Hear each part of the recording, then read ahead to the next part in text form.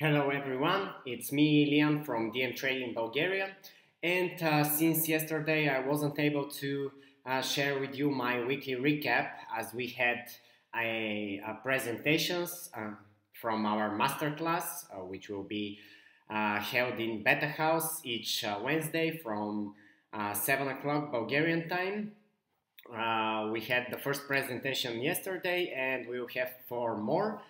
they're very uh, good and suitable for beginner traders. We'll teach you uh, the basic uh, knowledge you need in order to start trading profitably on the markets. Uh, so today the time has come for me to share my weekly recap with you.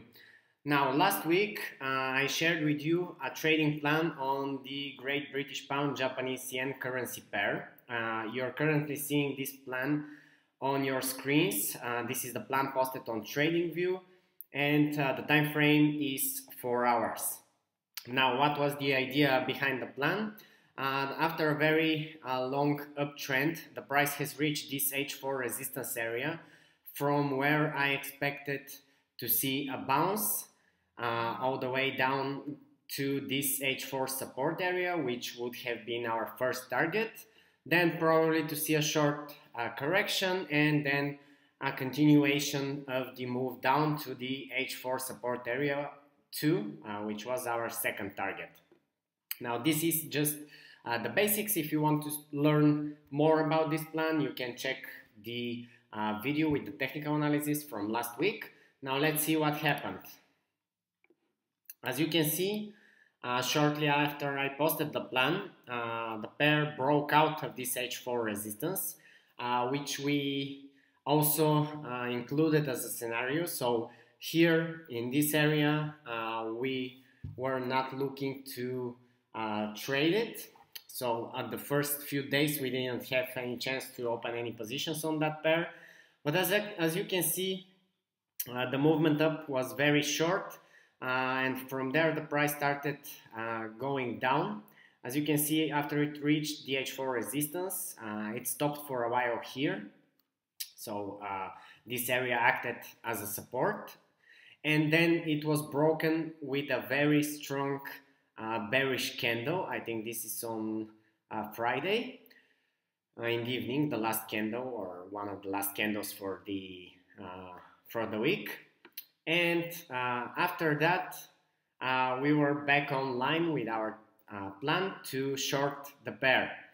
Uh, now I'll turn on the uh, live chart and I want to talk a bit about uh, the opportunities we had. You can see after that we just had a move down, a correction back to that H4 resistance and after that a huge drop into price uh, of the price and uh, it just uh, covered both target areas and is currently standing around 50 pips below this H4 support target 2. Now, uh, this is the live chart and I want to show you what opportunities uh, we had. So obviously, after this break here, uh, we were not going to continue following, following the plan uh, if the price continued going up. But uh, very interesting thing happened. You can see that after that we had this move then the price retraced back to the, this H4 resistance. And in this case, we were anticipating probably a continuation of the uptrend. But instead of that, we saw a huge uh, bearish candle breaking back below the H4 resistance, which was a support at that time. So this was a good uh, place to try and enter of course, on a lower time frame, it would be better. We could have entered like in the middle of this candle. Uh, but still, if you miss this one, you can see that after that, it just covered uh, almost fully. The price went to our H4 support target two.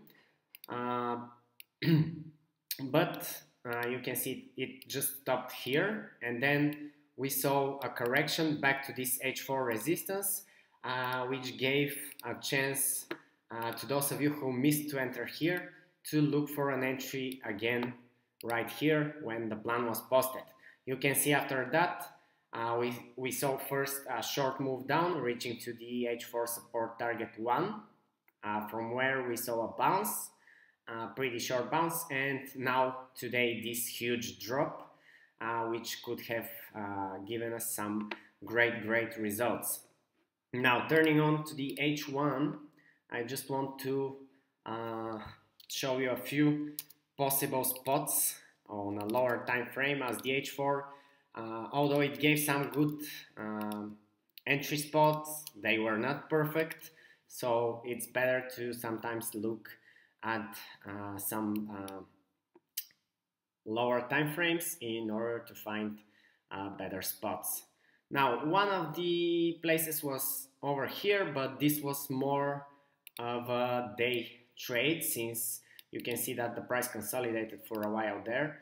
And after that it just dropped but um, the problem with an entry here after the break so on this candle was that uh, the target should have been this area this h4 resistance which turned into support.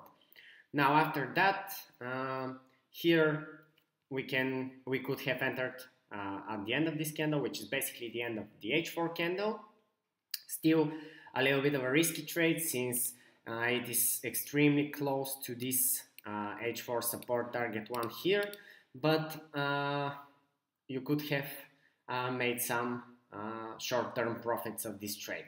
Actually, the gap would have made it for you. the price continued further down from this H4 support target one, but uh, we could have not known that. Uh, we were expecting a bounce from that area.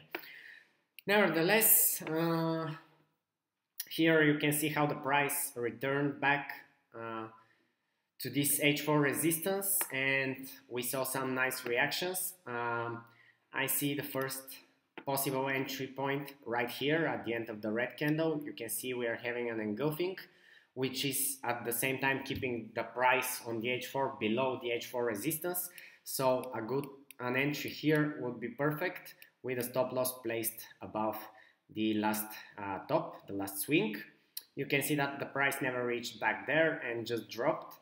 Uh, here it was, it would have been extremely hard to enter. You can see uh, how volatile the market was in this area and um, we had some extremely uh, strong movements but if you're trading if you were trading it short term and uh, uh, on a daily basis, you could have again entered on this uh, small candle here and uh, close some profits on this area. Uh, after that, the last possible entry point which I see is uh, basically this small sort of a consolidation which we had here. This was, I think, an anticipation of the news. Uh, and you can see that after the break of the bottom of this square formation, we had a huge drop in the price, so an entry here would also be good with, again, a stop loss placed above uh, the H4 resistance just in case. Uh, all of those trades I would have recommended for you to take with uh, a lower investment as the price of this pair and actually uh, the GBP price was very volatile in the past few days and it was kind of hard to predict where it might go. It could have just stopped here and then uh, bounced back up to that area, but uh, you know, with a small investment, it is okay. Uh, even if you have some losing trades, you have winning ones like this one, which will actually uh, give you a lot more profit. Now, this is it uh, regarding uh, this recap on this plan.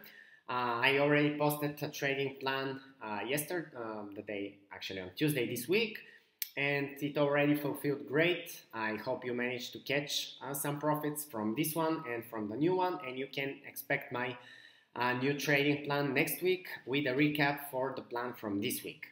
Uh, uh, as well, if you haven't joined our Telegram channel, do it now. this is where we post our live signals based on that those plans and of course, if we see other good opportunities from our other plans, uh, we tend to share some of them with you as the live signals. Thank you very much, and our team wishes you uh, a great day and a great end of the week.